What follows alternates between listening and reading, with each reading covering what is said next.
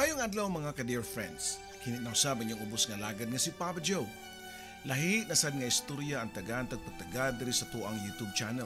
And by the way, kung mga bago pa lang mo, please click the subscribe button and the notification button para ma-notify mo sa mga bago na to nga mga istorya nga mga pinada sa to ang YouTube subscribers sa Dear Papa Joe Stories. Sa mga nakasubscribe na, daghang salamat sa inyo ang uh, way uno pagsuporta sa to ang YouTube channel.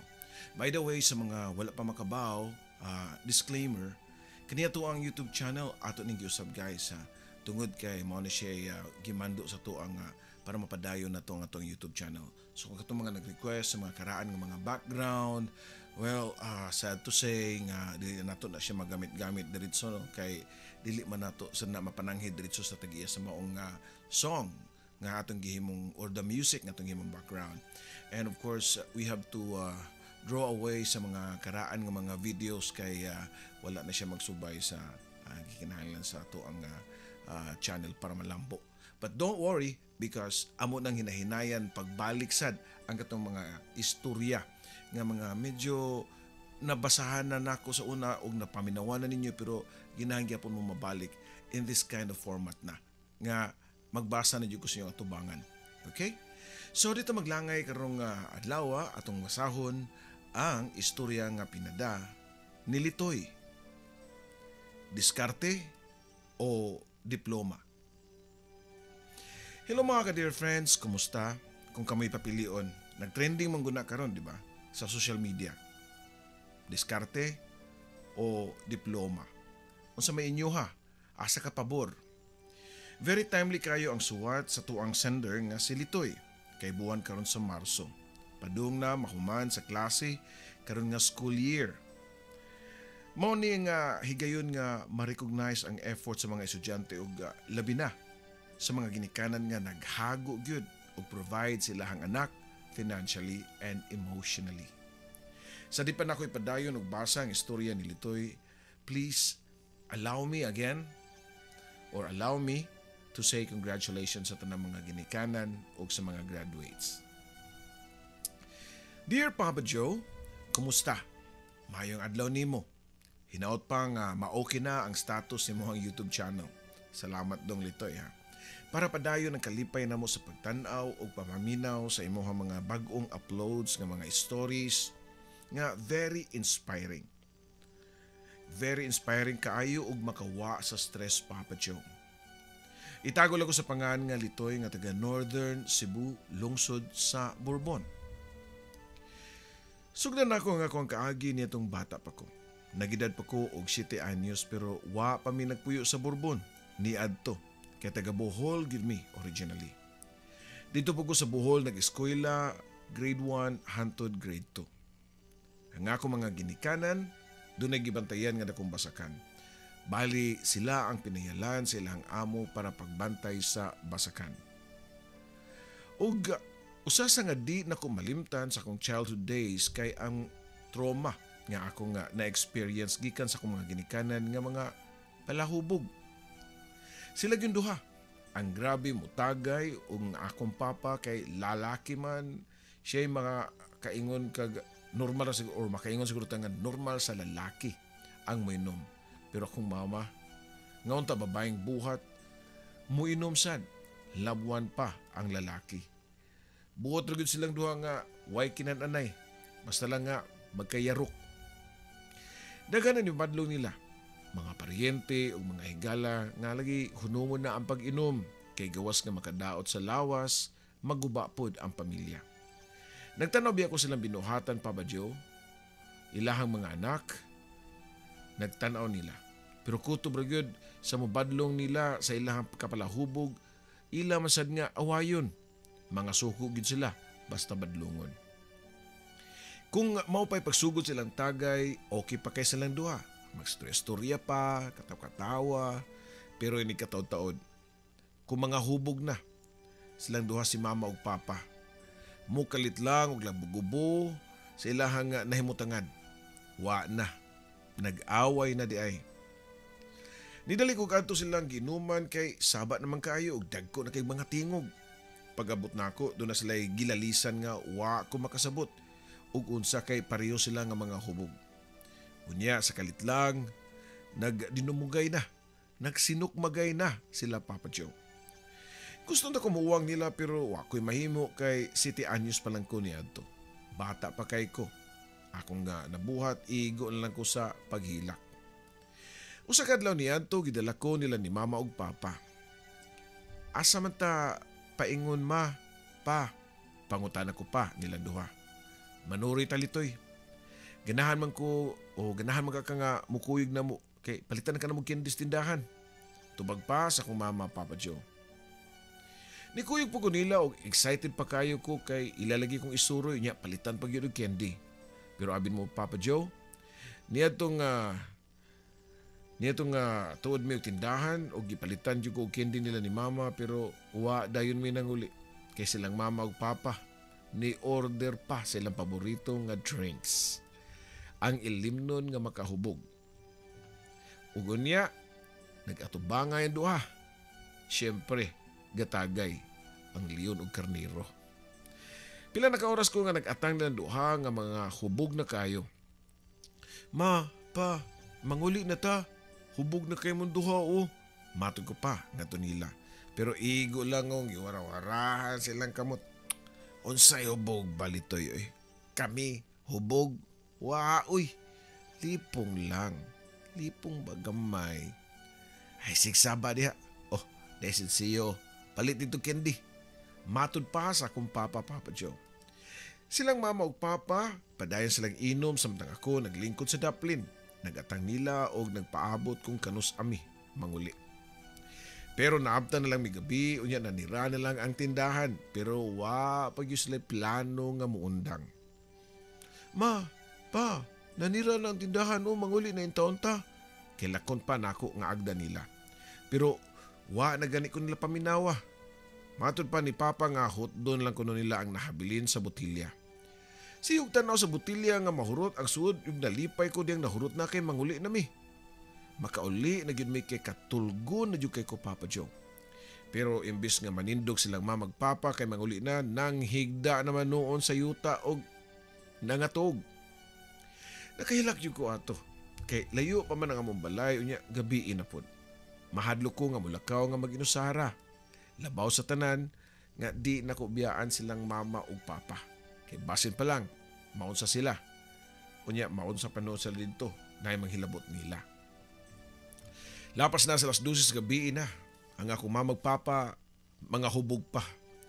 Lami kay katug sa yuta samtang ako. O sila lami kay lang katug sa yuta samtang ako. Nagtukong ryot skili pinaan na Papa Joe. Nagapong nilang duha. Katulgo na kay ko. Pero gipug nga lang yun na ako kay di ko gusto nga makatug kay gusto ko nga mabantayan na ako silang duha. Ingon niya to ang perming may tabo Papa Joe kay sigian ko nilag dala iniglakaw nila unya mag-inom dayon. O kung mga hubog na dayon, muhigda na lang dritsos daplins dan. Mao nga ako pod, kadaghan sa pugko, makatug og yuta. Bisan asa nga lugar, kay muunong magyud ko nila Papa Joe. Pagkahuman, nako og grade 2, dako ang kalipay kay gibalita ni mama nga mamalik na mi og puyo sa Cebu. Sa akong unahuna, basin pa og mausab na sila og di na maghubog-hubog kung naa na mi sa Cebu. Og tuod man nakabalik na gyud mi sa may bukirang bahin sa Northern Cebu. Naningkamot na og panabaho silang mama ug papa. Ilang pangita kay panguling og uh, pangraha. Maka-income biya yun sila Papa Joe. Kay kugihan man unta sila si Papa ug Mama. Pero ang ilang income kay ego ra gyud nga kami makakaon ug makapalit sa sa ilahang paborito nga ilimnon nga makahubog. Wa sila nag-usab bisan og nanami sa Cebu. Kung makakwarta sila kay apil gyud na ang ilimnon nga makahubog sa ilahang budget. Simple ramong kinabuhi bisan og pobre mi. Ang uling ug raha nila ni Papa kay tagdugay man mahalin. Kung wa pa gani halin sa ilahang uling ug raha, magmantinil lang ko sudan nga sinugbang buwad. Nga putput, nga butangan og kanon si mabaw nga giputos og dahon sa saging nga gihaw. Lami na kinanako, inikabli lagi nako sa dahon. Hmm, mga lisngaw gyud ang kahumot. Pero mas lami gyud ta ang akong bound sa school kung mahalinan mi og uling og. Pero maguol lang ko kay kung mga hubog na sa silang duha, langas na sad kayo sa mua. Kay maglalis dayon sila ini kahubog. Unya mag-away dayon o magdinapatay pag yun. Pero ang nakaayo lang kay ini kaugma kung mahuwasan na sila balik sa dati nga peaceful ang amon life. Murag wala ni tabo nga karambula sa miaging gabi. By the way, unom dami kabuok nga manigsuon ug ako ang kamanghuran Papa Joe. Pero ang akong mga maguwang minyo na tanan, mao nga ako nalay nahabilin sa amo. Ako nalay nag-antos nga makasaksi sa binuhatan nila ni mama ug papa. Kung mga hubog. Kung dili pa lang unta pala hubog ang ako mga ginikanan, dili unta kayo milisod kay igo ragyod o ako ragyod ang ilahang gibuhi. Unya, di man sila mga tapulan. Di sila magurong, kayod gud silang duha sa pagpanguling ug pangraha. Kugihan pud kayo sila nga magtanom-tanom ug mga lagot mo mao nga di gyud may magot man Papa Joe. Hangtod nga nakahuman ko og elementarya sunod school year. Mag high school na ko. O sa ribot pasabot ana, kana mao nga di nako bata. Ulitaw na ko Papa Joe. Kabaw na ko nga mauwaw sa mga binuhatan sa ako ang mga ginikanan. Usa ka adlaw niya to Papa Joe sa akong pakigastorya nila ni Mama ug Papa, ningon ko nga Nalayon ta ko'y hangyo ninyo ma, pa. Nga kung mahimo, mundang nang tamog inom kay mag high school naman ko. Matod ko pa. Nga nom, di mag high school na ka. Makagasto man minimo bisan og mag-inom pa mi panagsa. Tubag pa sa akong papa. O wala mo ko'y problema sa kwarta. Kuan man good. Dako na biya ko niya mauon man ko sa ko ang mga amigo eh, nga akong amahan o ginahan nga. Puros mga palahubog. Matod ko pa. Pero puwerteng sukuan nila na ako, Papa Joe.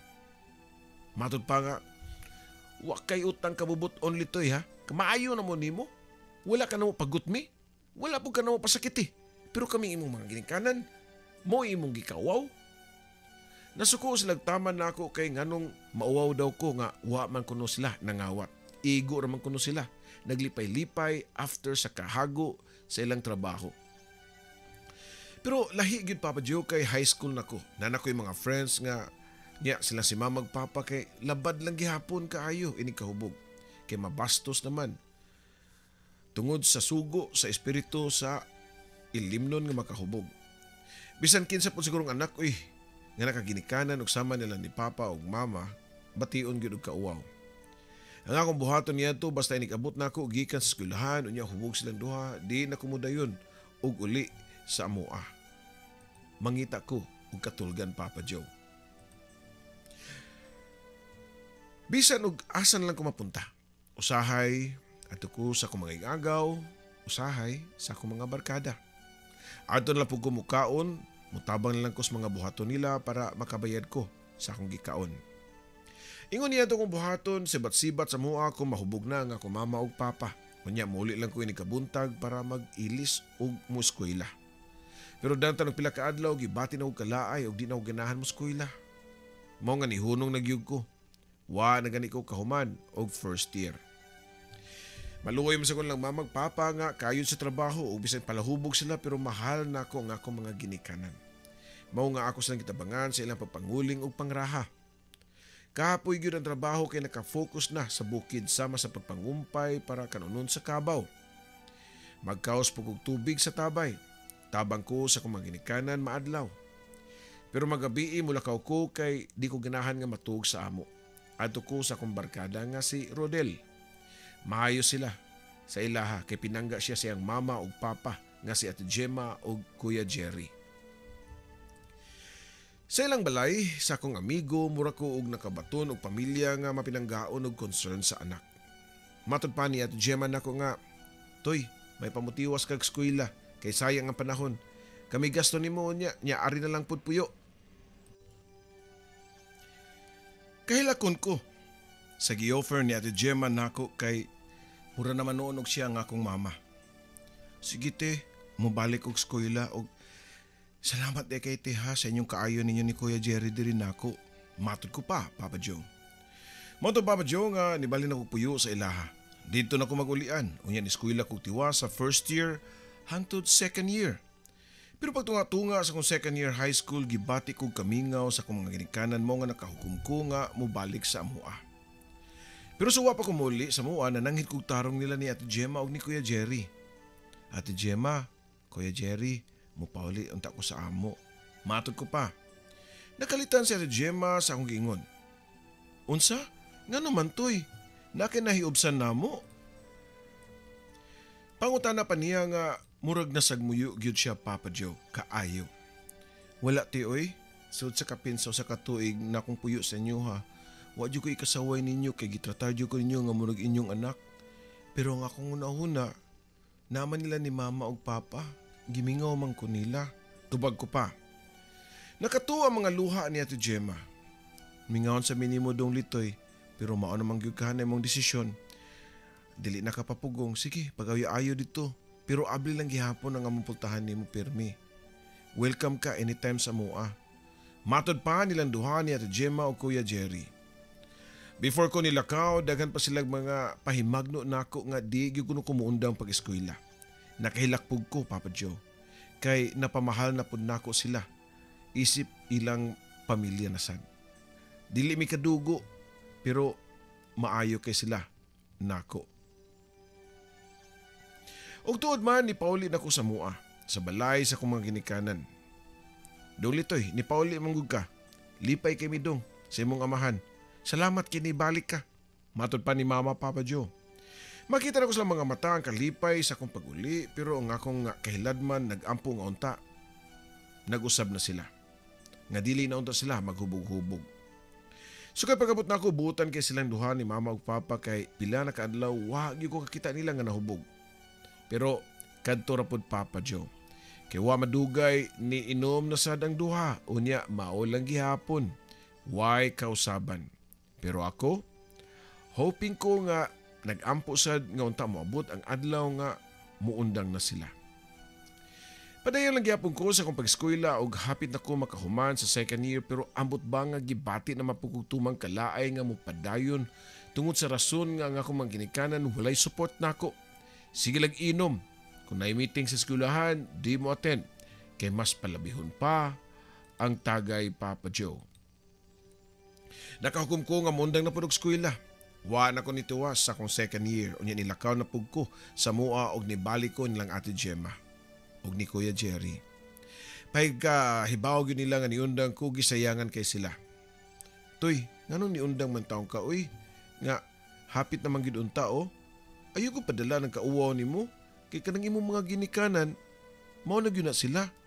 Bisan kung sa pamitabo sa imong ginikanan, ginikanan na nimo sila. Unsa man mo tiwas kag eskwela kay patiwason ka namo sunod abis klase. Pangutana pa ni Ate Gemma nako. Unya ni tubag pug ko nga di na lang siguro tay. Manrabaho na lang ko. Wala gyud mahimo pa sila si Ate Gemma o Kuya Jerry kay bisag kung saan lang convince nako nga muskwela di naman gyud ko. Nipuyo ko sa ilaha og pila ka adlaw hangtod nga dunay naka-refer nako nga hiring sa usa ka restaurant sa Mabolo, Cebu City. Willing kay ko nga mo-apply bisag unsa pang trabaho ah, basta minaayo lang. Nananghidayon ko nilang mamagpapa nga mularga na kong syudad unya syempre malimtan ba din nako ang pamilyang nagpa-experience na kong love and care. Ang akong amigo iyang mga ginikanan nga sila si Ate Gemma ug Kuya Jerry. 15 years old pa lang ko dihang nakataa og syudad sa Sugbo. Diya sa Mabolo nahimutang ang restaurant nga akong gitrabahoan. Ang akong trabaho Papa Joe ang kay tighugas ra og plato. Unya tabang-tabang sa kusinero. Okay naman unta ang trabaho, kaya ra nako pero wa ko nagdugay. Mga 3 months ako, kay ambot ba nga mingaw na jud ko sa kong mama ug papa. Bisag ingon anas la kapalahubog, walay care diri nako pero mingahon jud ko nila gihapon. Mao nga nibalik ko sa mong bukid. Istambay na sa ko sa Bourbon ug magngatungan ko silang ate Gemma ug uh, ngadto sa kong papa ug mama. Iniguman ako tabang ngadto sa buluhaton lang ate Gemma adto na ko sa akong mama ug papa mutabang. Ingon niya to ang ako ang daily routine. Sa kinabuhi nako hangtod nga nag-17 anyos ko. Dunay naka-refer nako nga musud pagka security guard sa Mabolo lang gihapon.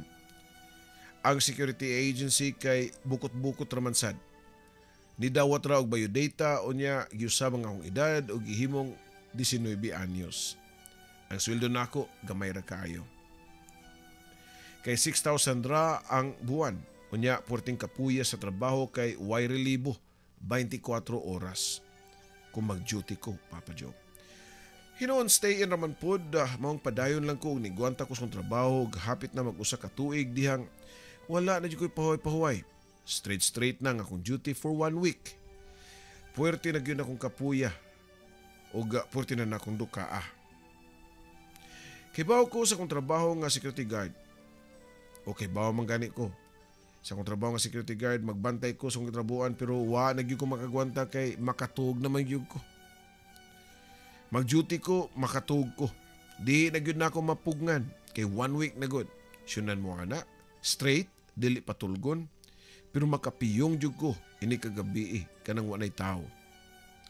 Usa ka buntag niya na samtang nag-duty ko nakamata na lang ko kay dunay ni pukaw nako nga gikawata ng akong gibantayan. Nagubot na kay sila ug paglantaw nako sa akong pusil wala na sa akong holster kay gikawat na sa kawatan. Wa na gani ko'y kalibutan nga gihulbot na ang akong pusil. Nakitaan man gyud di ay kay gi-review sa CCTV. May na lang kay wa na dayon ang pagpangawat sa akong gitrabuhan bali ang nakawat ra kay ang gi-issue nga pusil. Bayran gyud nimo ang pusil itoy. Matud pa sa taga-agency nako. Nahadlo ko kay unsa may ako ibayad nga kamahal anang pusil unya gamay ra kay kong sweldo.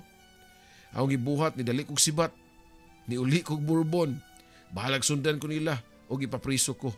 May na lang kay wa naman lang pud sila ni gukod nako. Ila na lang ko nga gipasagdaan Papa Joe. Nag-standby na pug ko sa Bourbon og pila ka buwan.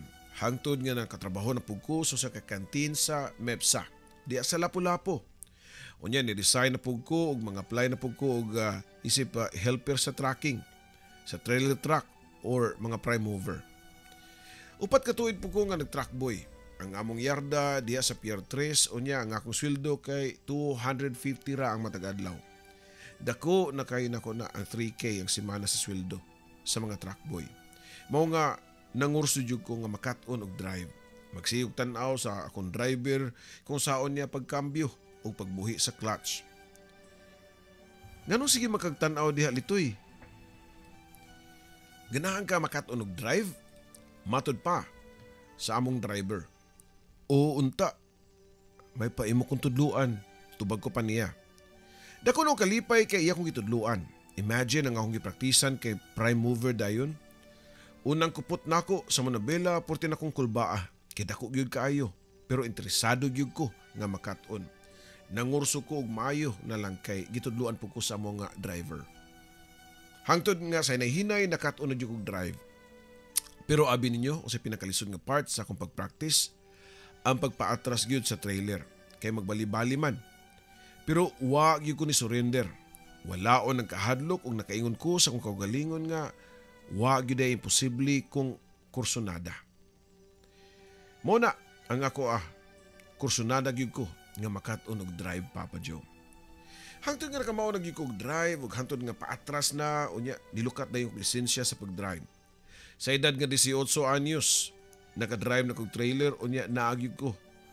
Ha? Ako ang kaugalingong unit. Unya, nidako-dako na pod ang akong sweldo. Sa pagkakaroon nga 25 anyos na ko, og aduna na ko'y pamilya, unya napoy stable job nga saktor gyud nako mahatagan og may kinabuhi ang akong asawa og tibok pamilya. Di ba, nagtrending magud Papa Joe sa social media ang pangutana nga diploma o diskarte. Dili po ko makaingon nga mas maayo ang diskarte o ang diploma. Dependo siguro na sa tao. Kaysa akong bahin, gigamit nako ang diskarte. Tinood maayo ang akong pagpamuyo karon kay medyo dako-dako na ang akong sweldo isip truck driver. Pero doon na ako'y gustong isulti sa mga kabatanunan o kini maupod ang akong ipatuman unya sa akong mga anak. Pilian ninyo ang diploma. Eskwela mo.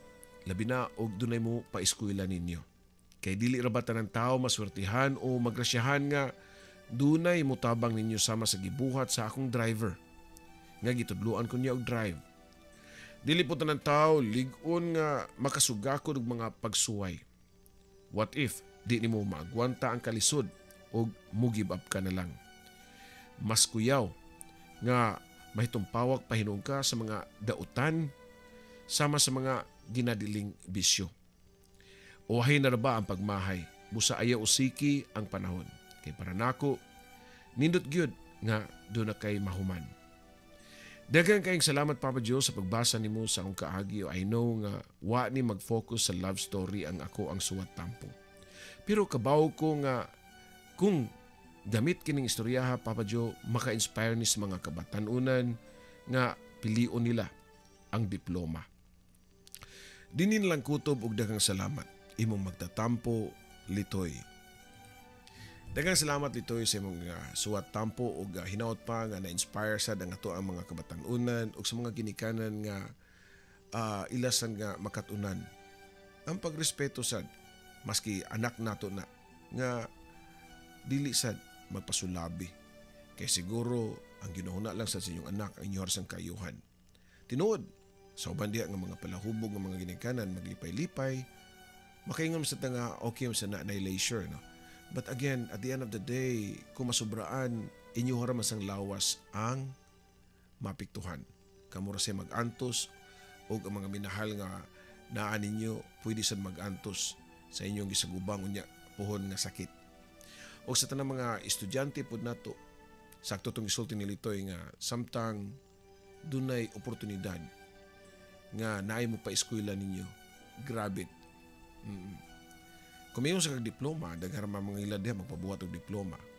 TOR na ang style ron. But anyways, diskarte, dedication, kugi, ug di mawad-an og paglaom. Usa sa mga yawi para makabot nimo ang imuhang gustong maabot sa imong kinabuhi. Nga muangat ka sa kanhin mo na imutangan. Ug para nako lang yun ang pinaka-importante labi na karon nga Semana Santa ang pagbuhat nato ani to ang uh, video. Ang pinaka-importante gyud mao ang kanunay nga pagpasalamat sa atong labaw nga makakagaw nga si Hesus Kristo. You know why? Maski dili pa na nimo isulti. Kung nakakita ka mismo sa imong kasing-kasing nga pure sad labaw pa siya ug tabangan na jud kaniya daghang salamat kini ubos nga lagad sad nga si Papa Joe. Ay mo kalimot pag-subscribe sa itong YouTube channel o click the notification button.